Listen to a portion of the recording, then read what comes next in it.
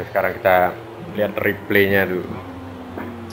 Kita pakainya Pico Bagnia ya, Bagnia ya. Ini replaynya memang memang seperti itu ya. Di beberapa tikungan ngeblur uh, pakai komputer yang beda pun dengan VGA yang berbeda pun sama ya ngeblur ntar coba dilihat nanti di beberapa tikungan ngeblur dia dulu memang setupnya mungkin gamenya seperti itu.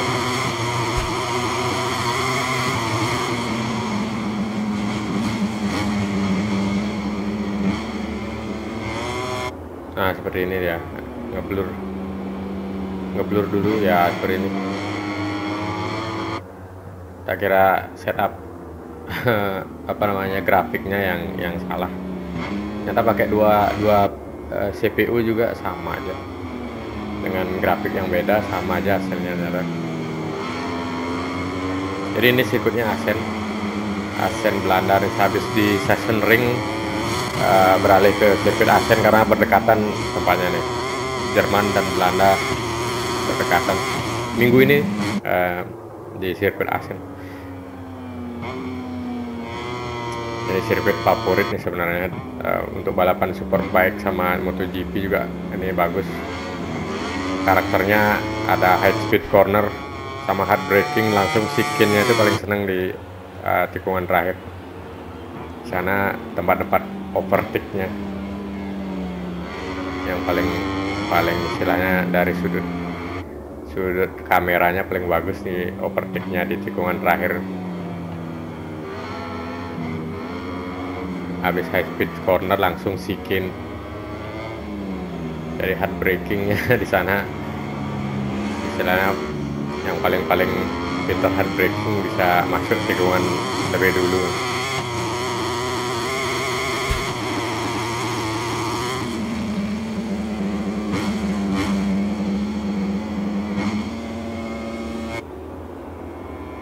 Ya kayaknya yang di Asen antara Pico sama uh, Jorge Martin pasti seru lagi nih kayak di Sassen Ring si siapa namanya? Jorge, Jorge Martin lagi semangat semangatnya kayaknya mau gabung sama tim pabrikan dan nunjukin skillnya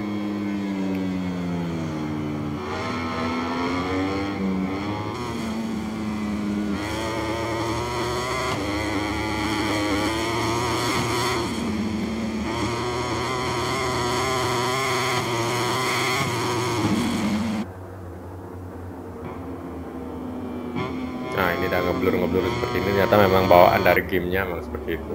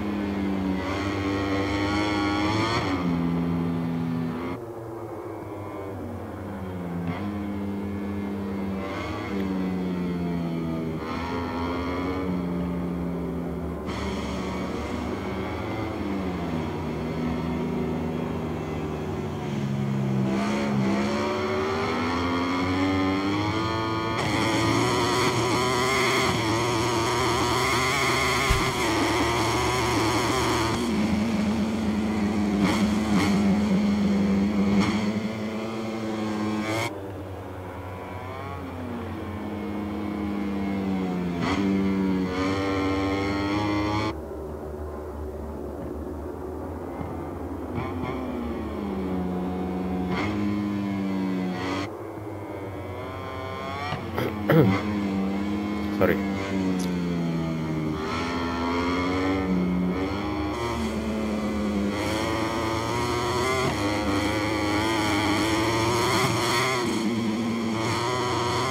Kalau sendirian di depan tanpa ada yang ganggu bisa ngatur ritme balapnya ngatur racing lainnya sesuai yang tercepatnya.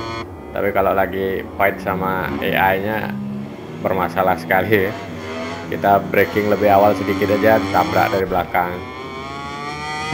Kadang mereka keluar masuk tikungan antara kanan kiri kanan kiri itu enggak, enggak, enggak ada respect sama sekali. Pasti kita jatuh aja resikonya apalagi dengan uh, perubahan MotoGP 23 yang ya sangat-sangat drastis perubahan brakingnya kalau kalau salah braking sedikit pun pasti slide dan jatuh nanti. Jadi harus lembut dia uh, apa namanya mencet-mencet remnya. Terlalu pakem. Tapi bagusnya itu jadi kita apa namanya titik-titik pengereman itu kita tahu di mana. Kalau yang MotoGP 22 itu perlu bantuan uh, titik-titik braking itu karena uh, salah sedikit aja. Udah pasti outnya uh, keluar jalurnya parah sekali harus dibantu dengan engine brake juga. Kita persnelingnya giginya harus dioper secepatnya ke posisi bawah. Tapi kalau ini malah uh, engine brake tuh malah malah berbahaya sih. Kalau kalau dulu MotoGP 22 bisa turun ke gigi satu ini yang ini paling maksimal ke gigi dua. Kalau dipaksakan ke gigi satu malah slide malah jatuh malah kekunci bannya jadi ini engine brake untuk MotoGP 23 itu tidak terlalu diperlukan.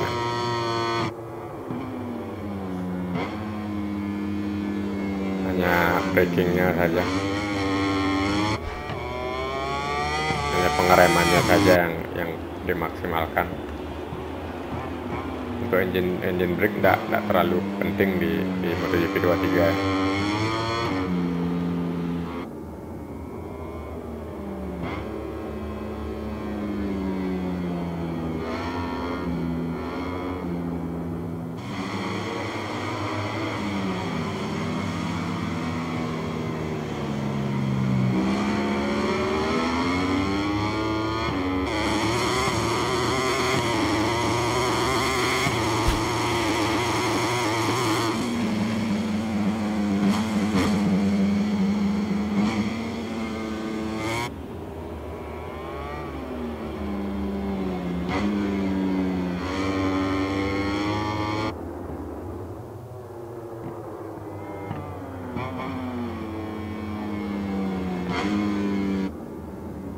oh ini jatuh kebablasan untungnya yang posisi keduanya jauh sekali.